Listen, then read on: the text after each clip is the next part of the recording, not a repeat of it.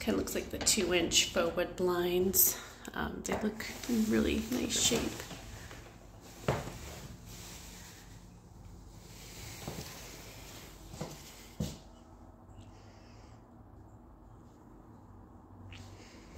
This is the bathroom. So it's in the bedroom.